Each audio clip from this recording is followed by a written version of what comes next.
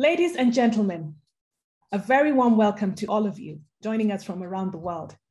I see people from Ethiopia, from the Netherlands, Switzerland, Ghana, Lao PDR, the whole world. My name is Susan Onyango, and I'm Global Communications Coordinator for CIFOR-ICRAF. I'm speaking to you from Nairobi, Kenya, and I will be your moderator today. This afternoon in Nairobi, uh, morning or evening, wherever you are, we are here to officially launch the Transformative Land Investment Project. We have with us a great panel of speakers drawn from partner organizations and representatives of governments and the private sector. Our agenda will include opening remarks, a presentation of the project, commentaries by those representing countries and the project funders. Please use a Q&A in the Zoom platform to ask your questions. We will take this at the end while others will be addressed as we go along. And to start us off, I would like to invite Anne Larson, the project co-lead and head of CIFOR-ICRAF's research team on governance, equity, and well-being to give us the opening remarks. Welcome, Anne. Thank you so much, Susan, and thanks to everyone for joining us at the launch of this exciting new project on transformative land investment. This project was born almost two years ago now when the Swiss Agency for Development and Cooperation, SDC, released a call for proposals on responsible land-based investment. Their emphasis was on the VGGTs, the Voluntary Guidelines on Responsible Governance of Tenure, which provide clear guidance for respecting and securing land rights, but have not been widely implemented, especially by investors. What struck us most about this call was what we at CIFOR-ICRAF see as central for an effective approach to sustainable food systems. This approach requires the integration of multiple priorities rather than addressing each of these separately, specifically land rights, smallholder inclusion, food security, and environmental sustainability. The call also recognized some of the fundamental challenges in land investment currently, particularly the power imbalances underlying land governance and the importance of addressing these power imbalances as well as collective action as key for finding solutions. CIFOR reached out to a consortium of like-minded organizations to respond to the call, all of whom you will meet here today and looking at a longer term vision, longer horizon, which is encouraged by SDC and so rare among donors, we quickly resolved that the idea of responsible investment wasn't going to be enough for us. Responsible investment might just mean doing no harm, or maybe even doing a little better than that, but we wanted to go further. We wanted to promote a longer term vision focused on transforming land investment, a vision that is committed to social inclusion and that targets the transformation of the way land investment currently operates in support of people-centered food systems that respond first and foremost to local needs and priorities. We're fortunate to have a highly committed and engaged donor with a similar forward-looking vision. So it won't be easy, it certainly won't be fast, but we hope that you agree that this is a worthy goal.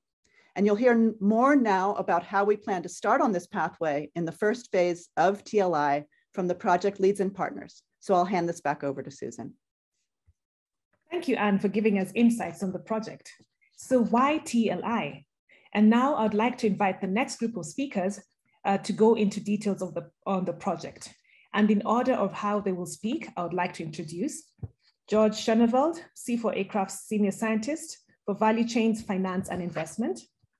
Kate Rickersey, Managing Director for Land Equity International. Ruben Otu, Senior Advisor for Forests and Climate Change at SNV, and Delia Catacutan, Principal Scientist and Country Representative Philippines for CIFOR-ICRAF. And now I would like to remind you to please use a Q&A for your questions. And over to you, George, to start us off.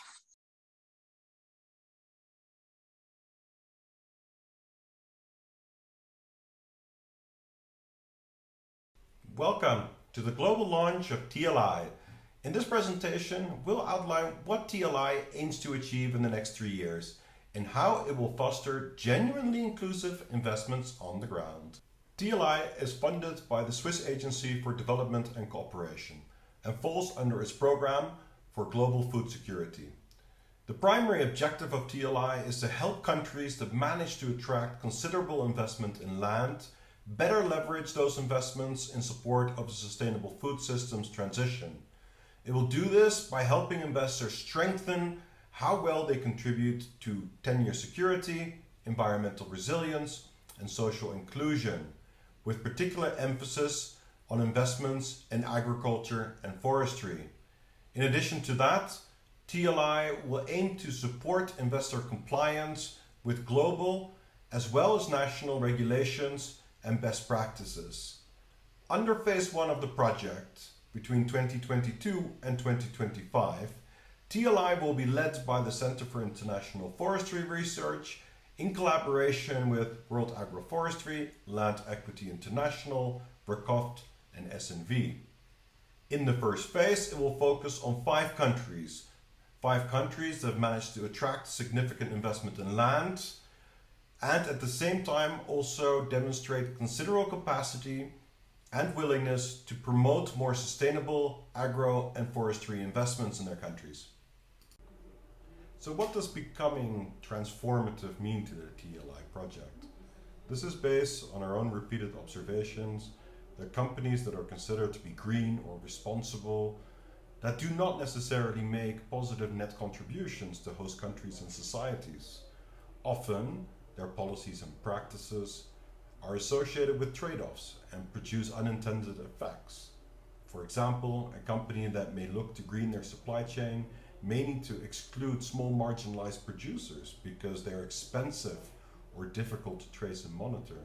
So to prevent these unintended effects from playing out, companies need to take a more holistic systems perspective that accounts for all different sustainability dimensions at the same time.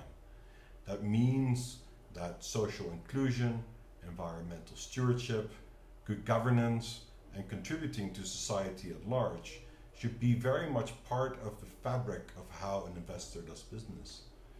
This also means that unintended consequences need to be more actively monitored and addressed, and that issues of agroecology, smallholder productive integration, supply chain shortening, and circular production, amongst other things, need to become part of investor business models. Helping investors become more transformative is more urgent than ever. We face multiple crises, a food price crisis, a climate crisis, and now also a supply chain crisis. This is happening in a context where many rural producers are already confronted by a host of market failures. Many don't have proper access to inputs markets, or technical assistance, while the claims to their farmlands continue to be insecure. These insecurities are only rising as populations grow and investors increasingly look to developing countries to develop plantations for agriculture and forestry, farmland is expected to become more scarce. This not only puts pressure on small scale producers, but also results in a conversion of important ecosystems, which results in biodiversity loss and reduces the capacity of countries to deliver on their climate change mitigation targets. With climate change not adequately addressed, smallholders face additional insecurities. They are more vulnerable to drought and flood and changing temperatures and agroecological suitability. This is affecting food and nutritional security, which may further marginalize small scale producers and increase the inequality gap. These challenges are expected to worsen in future. By 2050, 60 to 70% more food needs to be produced. But addressing these challenges in isolation is likely going to be inefficient and produce a host of trade-offs. Because they're so interrelated, we require an integrated systems approach, one that is multi-sectoral and multi-scalar in nature, that is grounded in large-scale coordinated action. The need for greater coordination across governments, civil society, and private sector is increasingly recognized, as is evident in the large number of different stakeholders rallying around a unifying framework for food systems transformation. Working on a more sustainable food systems together should focus on four key elements on promoting healthier and more nutritious diets, promoting the uptake of agroecological production, making markets more inclusive, and having a food systems which is better governed.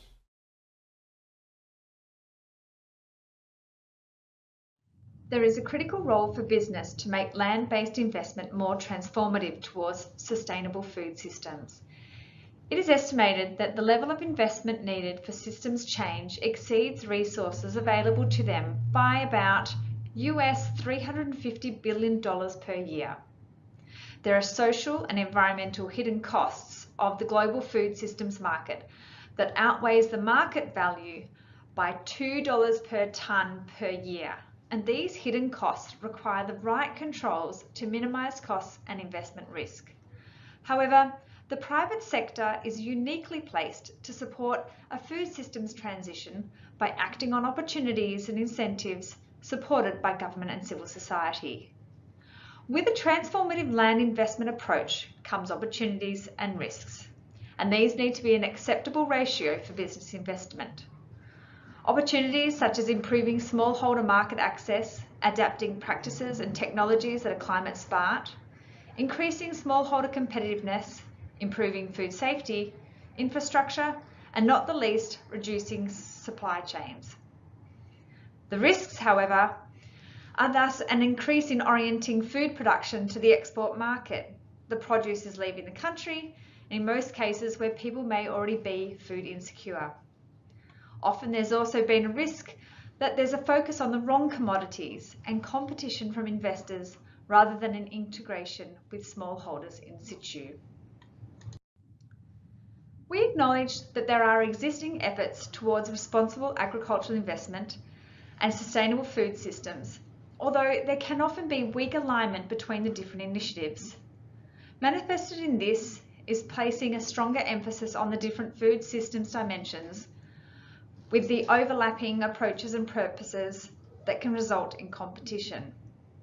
Failure to take a holistic food systems perspective implies trade-offs might emerge, for example, zero deforestation commitments and initiatives may compete with and lead to an exclusion of smallholders since these are comparatively difficult and expensive to monitor. Many initiatives are voluntary and lack dedicated independent reporting and verification, nor are there adoptions of incentives for many, and thus enforcement challenges emerge. With so many different principles and criteria circulating, investors often struggle to make sense of the complexity, and many also lacking the capacity to integrate more than one into their business operations. This may result in investors opting for the lowest common denominator. TLI strategy to deliver systems change involves tackling transformative investment issues simultaneously from various fronts. It aims firstly to prevent negative impacts from playing out in the first place. Control on how positive and negative impacts play out and encourage investors to adopt business practices and models consistent with TLI and support investors in adopting, integrating and implementing better practices and models. Let me just introduce you to a few terms the RRM, the risk reward model. This is a model to evaluate whether a proposed investment project is socially and environmentally desirable, helps to support decision making, prevent negative impacts from materialising in the first place. The multi-stakeholder platform, the MSP, is a planning structure cutting across sectors and stakeholder groups that could collaboratively develop better coordinated and aligned policy and regulatory frameworks to control how investment impacts play out, as well as co-developing incentive mechanisms that better encourage investors to adopt and comply with better practice models. The COP, a community of practice, is a community of civic actors that are capacitated and coordinated to engage in more effective collective action and advocacy in order to better support the development and implementation of other components. The BTL, or the Business Transformative Transformation Lab, is a technical support structure that helps investors close capacity and resource gaps to more effectively improve their practices and business models.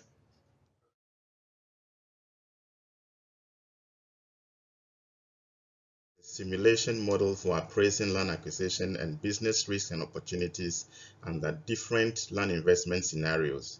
It enables investors and government agencies to have quick access to information required for approving and regulating large-scale land-based investments.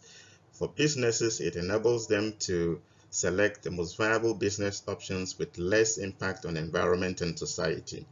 The model uses existing data such as investment siting plans, land use land cover data, census data, and other socioeconomic data to generate information of potential land-based investments. And this is done prior to the systematic environmental and social impact assessment uh, process. This helps to also generate information required for state agencies and civil society organizations, as well as financiers to provide a more targeted support to investors in the land-based sector. The multi-stakeholder platforms to be established under the project will aim to facilitating learning and co-creation space for governmental organizations, the private sector, and also civil society organizations. The platforms will help to identify challenges relating to national level food systems they will also set priorities as well as evaluate entry points for improving existing enabling and regulatory systems under the transformative land-based investment. The multi-stakeholder platforms would help in co-developing strategies and action plans to improve existing enabling and regulatory uh, systems. The platform would also help to strengthen the alignment and coordination among existing initiatives across scale in each country. They will help in testing the viability of these action plans, but also identify and pursue opportunities for funding mechanisms that will help implement some of these strategies and action plans. Business transformative laboratories will be established in each project country and they would consist of the project team as well as country level experts. These will provide technical support for agricultural and forestry related investments. Specifically, they would assist investors in identifying bankable opportunities for improving their practices as well as business models. They will also support investors in developing strategies for realizing those improved practices and policies and business models related to large-scale land-based investments. The Business Transformation Labs will develop partnerships or they will facilitate partnerships among investors, public sector institutions, and financiers in a kind of a win-win situation that will help build a value network towards the common goal of transformative land-based investments. And during implementation, the Business Transformative Lab will be available in providing backstopping towards implementation.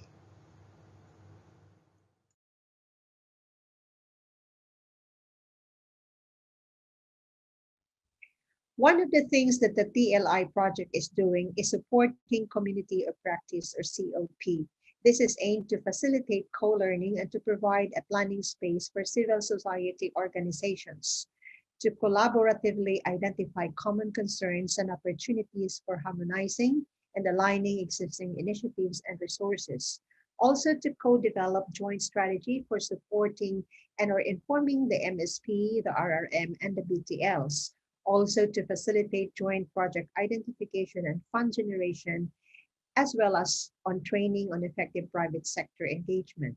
So who would be involved in the community of practice? So these are the governments, the investors, the civil society, and host communities. Each of them would have benefits from being in the COP.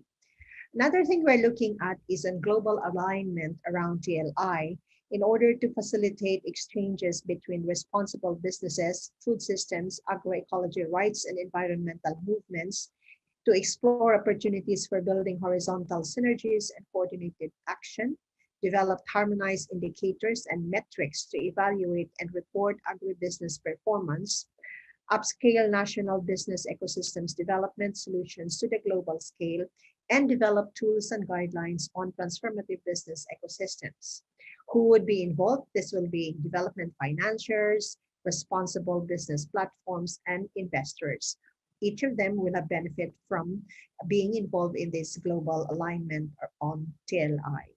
So uh, as our next steps, uh, the TLI project would be busy with implementing the following. Uh, one is to parameterize and validate the RRM model with all the stakeholder groups in the countries involved to co-design the BTL support strategy following our investor needs assessment to uh, formalize or inaugurate the MSPs following a systemat following our systematic review of enabling environment and opportunities for coordination. We will also start developing the theory of change with MSP stakeholders, establish the COP and co-design COP collaboration and engagement strategy, as well as to develop an online platform to facilitate virtual dialogue, information sharing, and transparency. Thank you very much.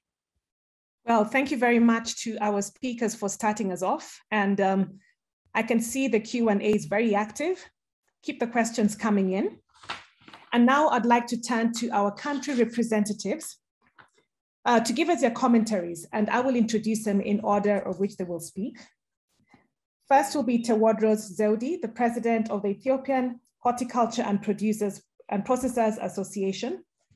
James Dadson, Executive Secretary, Ghana Lands Commission. Kemal Vaz, CEO of Verde Azul in Mozambique, a private sector organization. And So Duwa, Deputy Director, Land Core Group. And um, Suvanane Keotama Vong, Head of Sustainability of Mekong Timber Plantations Company Limited. And um, please take the floor.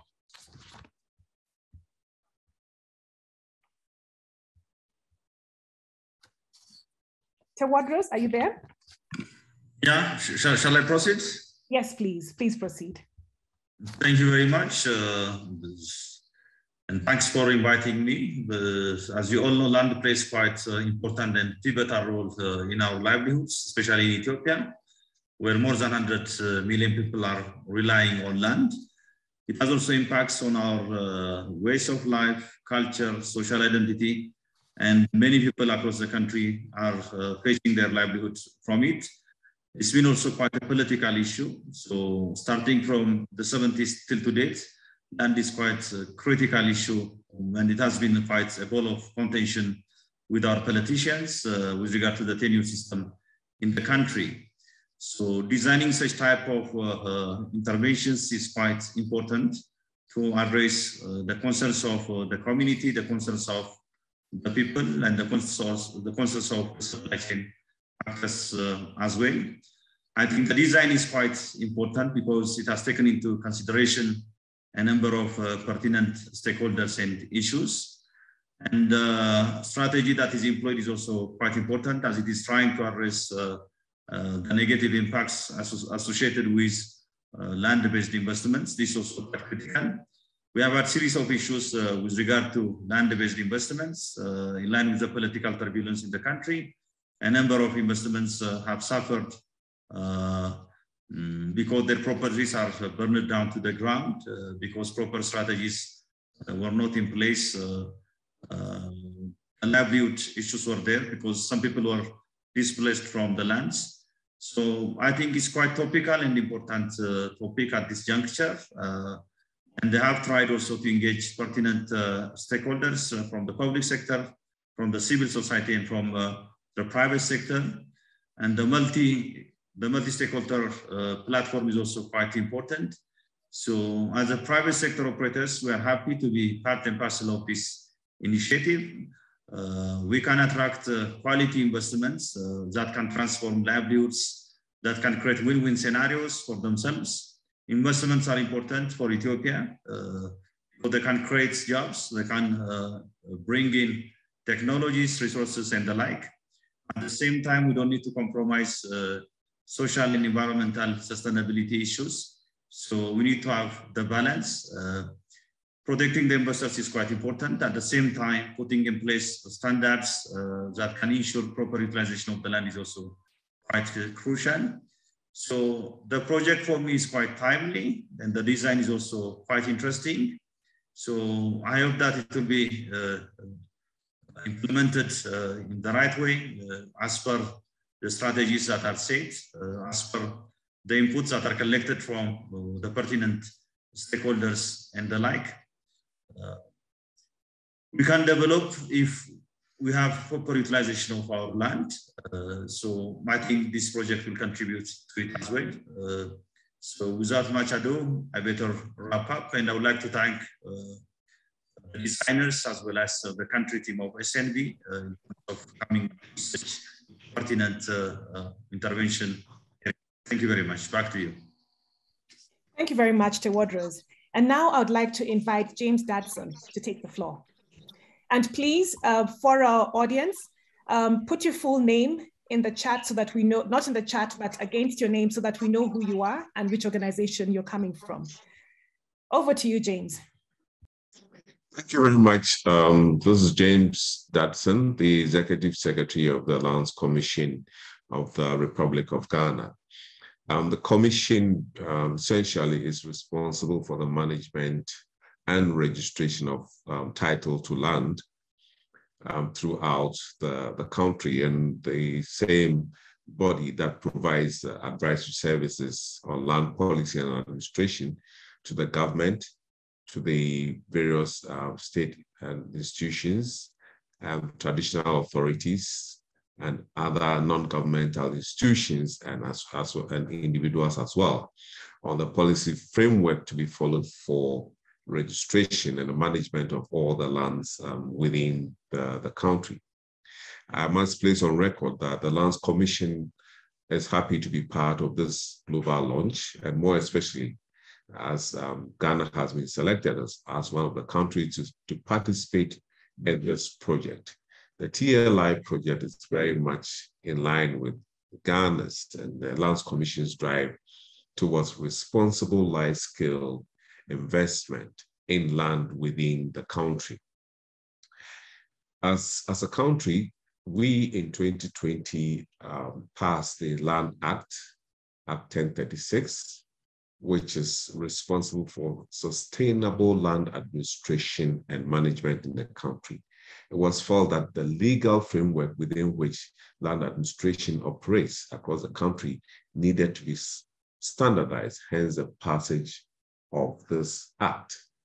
And it's a, it's a consolidation of many new ideas and experiences within the land sector. Provisions in the new act um, cover many contemporary issues we face in the land sector as a country, including acquisition and registration of land for investments. This act has come in to complement the Lands Commission's own guidelines on large-scale land acquisition document this came into being as a result of challenges that were being faced as a result of land, large-scale land acquisition, create, creating land, landlessness, among others. Now, for us, any large-scale land investment, which is detrimental to efforts aimed at poverty reduction, secure livelihoods, climate change, and food security, is regarded as irresponsible and unacceptable. So for the TLI project to succeed in Ghana, stakeholders must take into consideration the land tenure, the land tenure system in our country, which makes provision for various bundle, bundle of rights and various levels of tenurial arrangements within the country. The Lands Commission is of the firm belief that the country's development, as well as that of Africa, hinges very much on a sound land administration system characterized by security of tenure, access to land, development in a sustainable way, and most important, importantly, capacity building of the industry players. This is because land plays a vital role not only in the development of Ghana, but Africa in general. We see a number of benefits from the TLI project. We are optimistic that the project would establish the platform for continuous learning, mutual understanding, sharing of experiences and knowledge from diverse institutions and the countries that are participating within in the project. Also, to help in documentation and implementation of best practices to have a transformative investment in land, secure livelihoods, food security, and land rights. Again, address inequalities in land ownership, especially customary laws that limit women and youth and the vulnerable access to agricultural lands. This is what will ensure efficient land administration, not only for the current generation, but also for future generations as well. Finally, on this note, and on behalf of the Lands Commission, we pledge our support towards implementation of the project in Ghana. And we hope to be very much a part of it and at the end of the day, share in the success story of this project. Thank you all. Thank you very much for your attention. Thank you very much, James. And now I'd like to invite Kemal Vaz from Mozambique. Hi, uh, good morning, everybody. Thank you very much for the invitation. Uh, thank you for um, uh, putting together this uh, challenging proposal. I think the, the access to land is one of the most important uh, issues and probably uh, the processes that we take to access land have, uh, have also been the cause for failure of many projects and communities. Um, I would like to bring to this uh, presentation an experience that we uh, uh, summarized, synthesized uh, together with other uh, colleagues uh, on a symposium organized in South Africa, a symposium on resettlement and livelihoods. We, we took more than 250 practitioners and um, more than 42 countries have attended this workshop. and I I think uh, this is very appropriate because it summarizes some of the key issues. We call it the five big themes uh, that emerged from all these experiences presented in this symposium. The symposium was organized by the International Association of Impact Assessment, IAIA.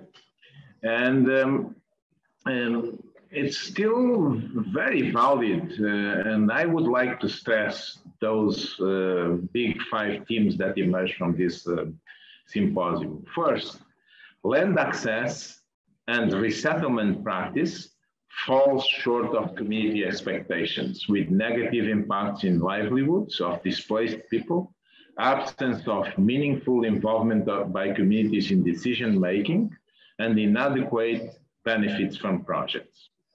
Second point, the best practice standards of IFI uh, are converging. Countries are also increasingly putting in place legislation, like we heard uh, my, my colleague that presented before. But there remains significant scope to improve legislative frameworks and align them closer with international good practice. The third point is livelihood restoration is not being properly planned or implemented. Finding replacement land is increasingly difficult and more in most developed countries uh, and because development projects always fall in crowded places. This is a big challenge. Women and youth and the vulnerable, vulnerable need more of a voice and more livelihood support. Livelihood restoration is a long-term process and can be better integrated with broader community development efforts. The fourth point is projects need to start planning and engagement early and, to, and more thoroughly. And the fifth and last point, resettlement practice is improving but requires more resources. So these five points are, uh, we can also develop uh, in more extensive way, but uh, it summarizes really the big challenges uh, that uh, most development in the region has faced. We have seen a lot of failures. Mozambique is one example. Uh, big projects that have have closed down because of uh, this access to land uh, process. So I would like to stop here and give the floor to my colleague. Thank you very much, Kemal. And now I would like to invite So Duwa, Deputy Director of the Land Core Group. Over to you. Thank you so much for having this great opportunity. Yes. Let me straightforwardly touch on the point that why land investment is timely and salient. And in this case, that just would like to reflect from the country-specific perspective. Uh, yes, the current situations uh, in, in, in our country, uh, many government uh, in their period, they are inviting the investors in the name of development of the country or economic of growth. And then all these investors mostly use the land for the investment, where the smallholder farmers, the ethnic communities and women sacrifice their right and their tenure right and their opportunity for the name of development, and they are suffering for decades until now. Then it causes the mistrust between the government, private sectors, and the communities. This has been have, this has been uh, the, ha, happened in the country for decades, and then it has been trying to reduce and uh, heal this issue by using many development projects and other resources and something, even the CSO or government or UN agency or something like that. And then it seems to be gradually getting improved, but until now, until the recent years, we have observed that the legislations, the authorities are in favor of the, the investors for the development, why the voices of the civil society, the farmers, the communities are much not uh, heard and also not much taken into considerations. So in this case, that just would like to highlight that when we're thinking about the investors and also the smallholder farmers and community civil societies, and every event that the voices of the civil society, the farmers, are not prevailing, especially the government legislations and the investors prevail. So that when I see this project, I noticed that when the uh, NR lenses is highlighted the power imbalance. So this is these projects will bring the power and also knowledge and the wisdom and the opportunities for the civil society, how they position themselves very well to be able to work together with government and the private sectors. At the same time, just would like to highlight the legislations. And, and this is also challenging.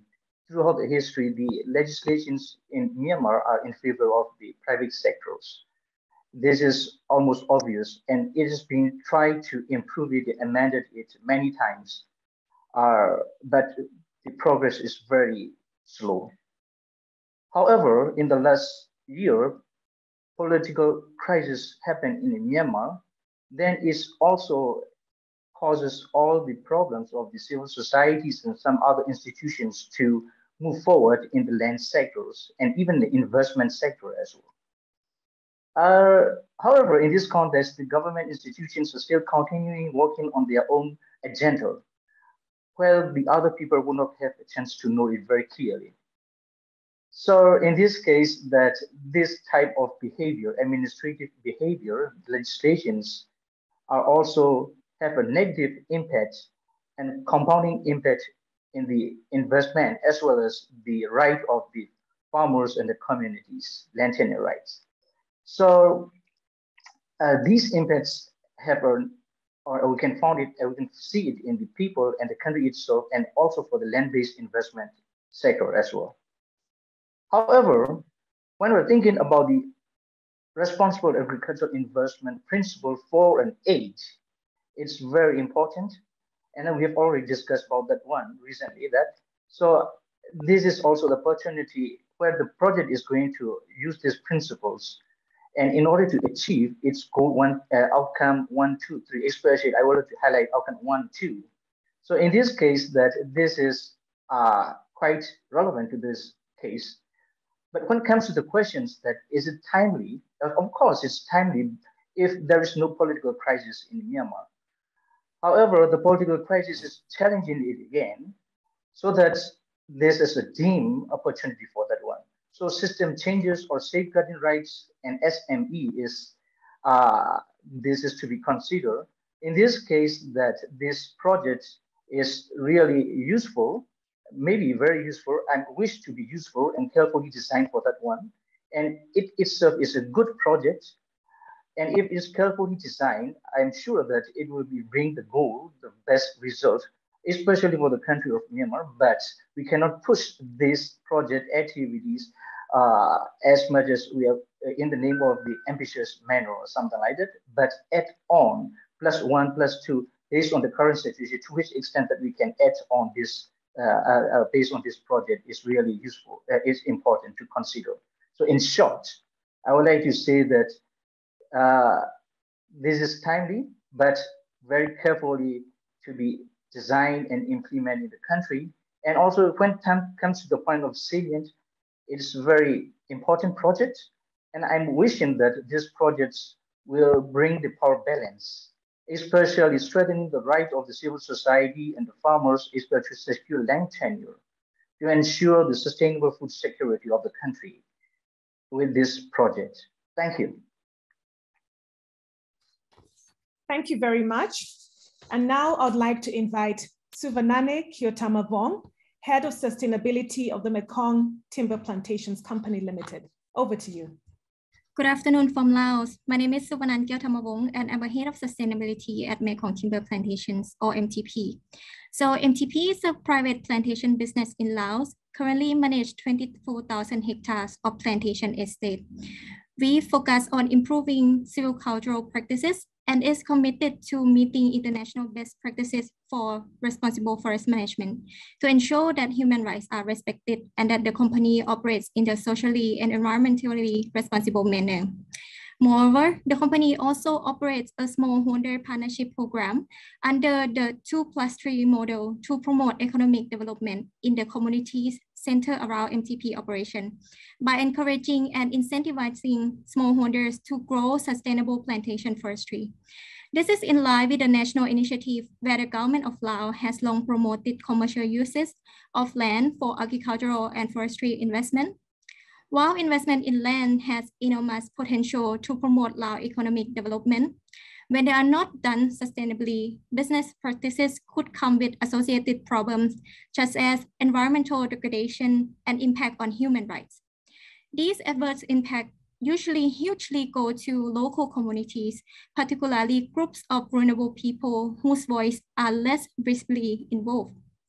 Although many investment apply a variety of principles on responsible agricultural practices, challenges are still have been identified. I believe that this transformative land investment project will provide great solution and make great contribution to the current national, regional, and international principles and guidelines to ensure responsible, integrated, and transformative land investment.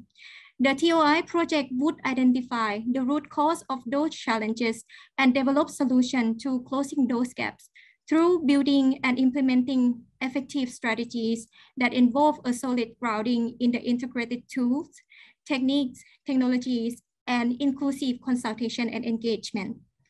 For MTP and other business, the program would support in addressing the business challenges, strengthen the current sustainability practices, and ensure that the company operates with maximum efficiency while minimizing risk and impact to communities and environment. It is also expected that the program will support one of MTP aims in expanding such transformative and responsible in initiative into our supply chain, our business partners, as well as strengthen our smallholders and community. With transformative practices and models, the approaches can help fight food insecurity in Laos and achieve several SDGs, such as those aiming at enhancing ecosystem health and promoting equitable and gender transformative improvement in food and tenure security, as well as livelihood. I would like to thank you for the opportunities for having me today, and I look forward to the run of the TLI project. Thank you. Sivanani, thank you very much. And to all our speakers, we thank you for um, the insights that you've given us. Now, we'd like to hear from you, our audience. Uh, we'll take a few questions from the chat. Some of them have already come in, and um, uh, they will be directed at individuals. So just listening to all the speakers, we've had a lot about the environment, the MSPs, the governments, the collaborations, but there's something I haven't heard. So um, is the project going to take any kind of gender perspective? And if so, how?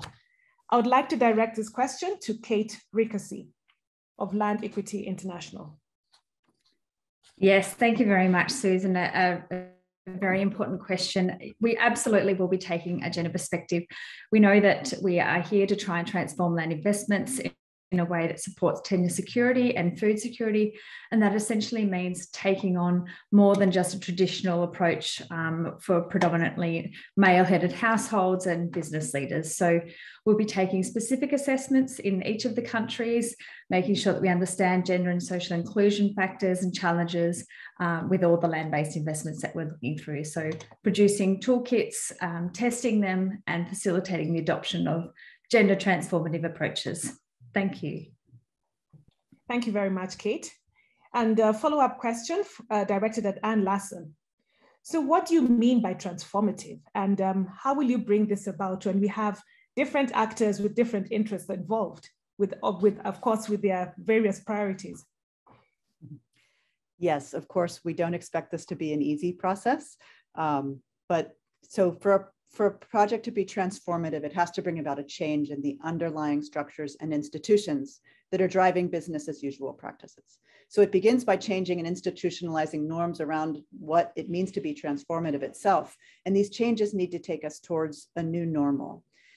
Changing norms means recognizing, understanding how things work and why, how power relations drive the agenda, and how starting and beginning to shift that by working with forward thinking leaders in all the relevant arenas, building capacities in the ways that support more people to join the conversation. Um, in this case, we're building on principles of agroecology, the VGGTs, the CFS principles for responsible investment in agriculture, but specifically in the medium to long term, we want to see food systems that are designed by local actors for the benefit of local people and local ecosystems. And to do this, as you've heard, we have a very multi-pronged approach that will work to start with these forward-thinking businesses, with leaders and forward-thinking uh, government actors, and in, in uh, combination with the whole ecosystem of local actors that should have a say in what kind of investment or food systems they want. Muted. Thank you very much, Anne. And there's a question from Lisa Cole. In Ethiopia, there are a couple of other MSPs on the topic of RAI and VGGT. Are you aware of these and how are you making sure not to duplicate efforts? Who are you targeting to be part of these MSPs? And I would like to direct that to George. Thank you, Susan, for the question. And a similar question was also asked by Julian Kwan. Um, well, the focus of our project is, is not to duplicate efforts or to develop redundancies. So we spent about a year mapping existing initiatives, engaging with these existing initiatives, and finding ways to collaborate with these initiatives. So our entry point is to find uh, opportunities for collaboration and to harmonize a lot of existing efforts.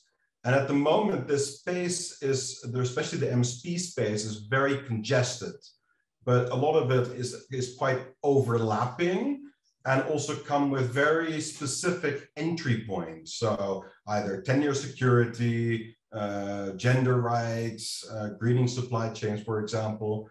So if we really want to take a systems perspective, then we have to bring these different communities together and let's take it up and see how we can integrate and align. And that's really our approach also to our global engagement is to find that alignment and, and to leverage existing uh, actions and definitely not to compete. Thank you. Right, thank you very much. And um, I think we are coming close to the end of time and we still have a couple of speakers um, lined up. So I suggest um, if there's anything else, please put it in the chat. Um, I think we're doing pretty well with response with responding to um, whatever is coming out from the discussions. So the project steering committee is made up of partners who you've already seen here, as well as SDC, who we'll hear from to close this launch event. Three other global partners are, that are on the steering committee include Oxfam Novib, the Rights and Resources Initiative, and the International Land Coalition.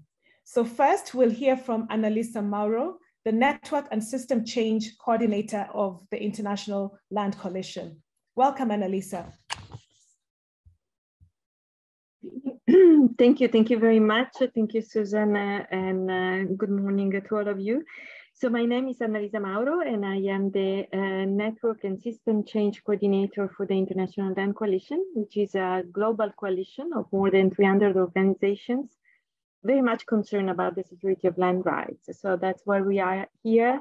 And uh, I would like uh, to thank the organizer for inviting us to be here but also to um, to thanks for the fact of inviting ILC to be part of the of the uh, steering committee of the project. Why this project is very much important to us? Let me see if I can. Uh, am I sharing my screen with you?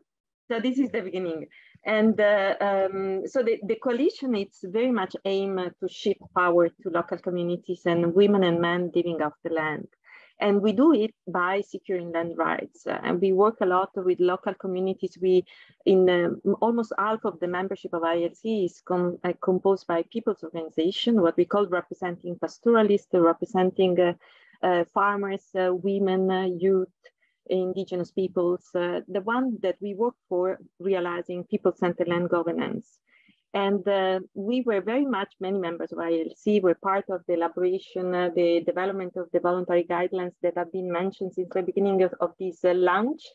Um, and that was uh, 2012, May 2012, and very much in support of what was the turning moment of recognizing the importance of land as a key pillar for rural development by a global uh, audience. There was a, a, recognition of the importance of securing land rights, as well as for the principle of responsible investment in agriculture, uh, always by the uh, Committee of Food Security.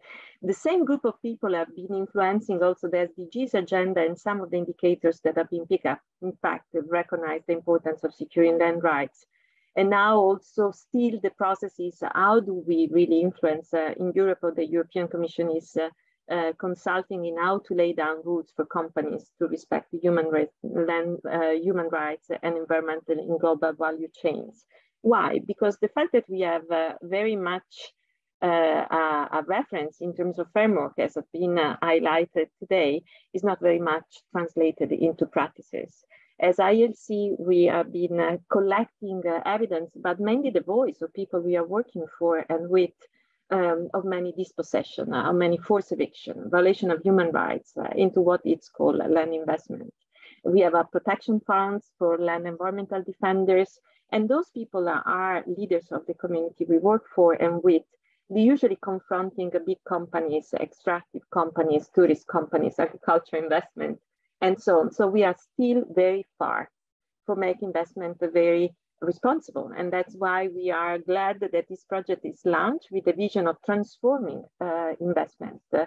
And by doing so, we just um, confirm what we have been uh, uh listening in the previous uh, contribution about the, the, the, the, still the lack of compliance uh, of many of the deals with the uh, uh, values uh, embedded into the voluntary guidelines. Uh, we have um, different systems through which we uh, build data. And one of these is Land Matrix. Land Matrix is monitoring, it's done together with partners, and um, it's monitoring large scale land acquisition above 200 hectares. Uh, so we, we started this in the previous food crisis in 2008. And we have been keeping a, a database uh, informing us uh, how the trends are at the peak, the normalization of investment, what are the consequences, the main dimension, the implication of investment. And just to echo what I listened from, uh, from Mozambique or from uh, uh, Myanmar, um, there is still a lot to do in terms of uh, making those uh, investment uh, Uh, responsible, and especially in terms of land uh, tenure and, uh, and people rights when it comes to rural communities. 78%. So we have been assessing um, uh, 730 deals in 23 countries in Africa. And the exercise was, in fact, to match the compliance of the investment with the VGGT principles. And what you can see there is that there is a lack of compliance in 78% of the deals, and in 20, uh, in 80, sorry, 87 uh, percent of the countries. There is a mistake there. It's not 84, it's 80, 87. So we say uh, it's still a, a, a, um, a long journey to transform those uh, investments. Uh, and that's why we are very glad to be on board of this project. Uh, when it comes to why there is a lack of, com of compliance, and that's exactly what I've been shared previously, it's uh, first the weak or not existence of a consultative processes, not even to refer to pre-prior informed consent in the case of uh, indigenous peoples and collective rights. There's a lack of respect of national law and legislation, including the one related to investment and, and tenure. Um, a law regard for legitimate tenure rights that doesn't mean necessary formal rights when it comes to, for instance, uh, the informal tenure of local communities and indigenous people to their territories um, a lack of respect of human rights. I guess you know about the uh, many cases that are brought to the media to the attention of us, but also Global Witness. Recently, now the case of, uh, of Uganda, Tanzania, um, and, and there is a lot of impunity attached to the violation of human rights that we need to also question uh, uh together. Um, and there is a lack of safeguards, um, um unlawful expropriation, uh, and the minimal application of agreed upon compensation measures that I think was also the point by uh, Mozambique. So I think those are uh, conclusions upon which we can build. They are confirming the assumption of this project. We are looking forward to be uh, together in this journey to make sure that those are not, the next report will give us a different, uh, a different uh, picture. Um, another point that is very much important uh, to raise with all of you as audience of this uh, important launch is the lack of transparency. It's very difficult uh, to access the information and without, uh, without the information, it's very difficult to have any monitoring system in place. Transparency is a key element of accountability. And without transparency, we cannot make government and corporate uh, association accountable. So we need to make sure that also this is uh, part of the agenda that we can uh, move together ahead in terms of what we can do.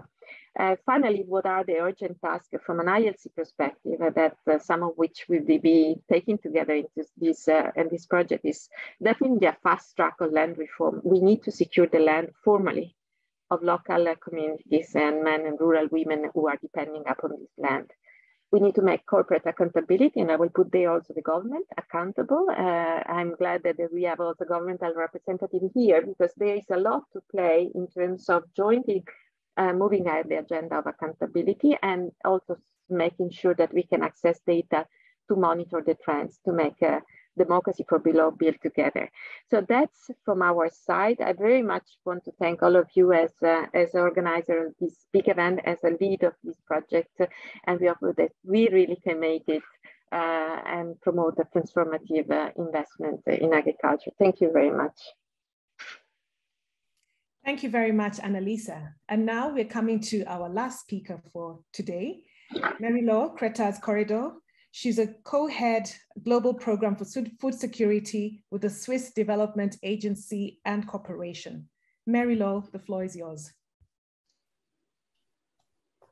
Thanks a lot, Susan. Can you hear me and see me? Yes, clearly. Yeah, excellent. So thank you and, and uh, greetings to, to all. It's a great uh, pleasure. It's a, quite a satisfaction also to, to see now the results of these almost two years of, of discussion and uh, intense consultation. And uh, I'm really happy to see also the, the interest raised. I've seen about 135 participants, quite a lively uh, chat, question and answers, and uh, uh, to hear also not only from the project partner with whom we've been discussing for so long, but also hearing now uh, direct interested like authorities and, and private sector uh, being already part of it and, and being very interested to contribute to this um, very ambitious uh, program. This is, this is really a fantastic uh, feeling. And Annalisa just made my life much easier with her presentation because I can explain why SDC uh, uh, decided two years ago to launch this call and why we're here today. And actually it's very much in relation with what, we just uh, saw in the presentation. We were very much involved in Rome at the CFS with the different uh, policy processes, so mainly VGGT and the RAI. Um, we supported already from the beginning the land matrix and, and ILC in, this, in its different uh, strategies. And actually, uh, a few years ago, we said, okay, how do we move forward? We've been already in this uh, in this logic to bring the different dimension together. But uh, I think what was new was to decide let's let's have more a systemic and a food system approach. So this is now our strategy for the coming years. We want to contribute to more sustainable and resilient food systems. We put at the center youth and, and, uh, and women. We want to look at uh, small producer, smallholder producer, at the same time, urban consumers. I think we, we haven't heard a lot uh, about them today, but they are also part of this, of this effort. And to do that, we have to uh, focus, and this is agroecology and uh, healthy diet from sustainable food system. So that's the background. That's where uh, uh, we come from and very happy to see also very strong in this, in this new partnership, the private sector engagement, and that also responds to uh, Switzerland International Cooperation Strategy for these coming years. So I will not make it longer. Uh, very happy to, um, to be here to uh, have this ambitious project starting. And I would like to wish all of uh, the partners, all of the the other organization. I was very happy to, to see this different question. How are you going to collaborate with other? This is also really SDC interest. We are not alone. We are many to, and we want to work uh, together in that same direction. Um, so all the best uh, and a lot of strengths to contribute to the this transformative uh, effort. And with that, I declare the TLI program launched. Thanks a lot. Thank you very much. And um, we'd just like to emphasize that we look forward to building synergies and creating a community that's larger than the TLI project. We see that we have a broad range of um, organizations represented here that are part of the project, but we all have a common goal um, within the project. So we look forward to working together. And with that, um, I'm pleased to tell you to announce that the TLI website is finally live. There will, we will be making um, additions to the page. I will share it here. Our website is always work in progress. It never, it's never completed in a day. So this is to start us off, and we will make the presentation available on this page later this week. And with that, I would like to bring this to a close and thank you very much for joining us today. We look forward to working with you. Thank you.